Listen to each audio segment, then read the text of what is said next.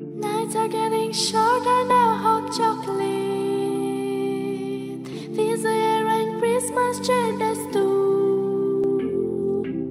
Pick a merry old Christmas tree so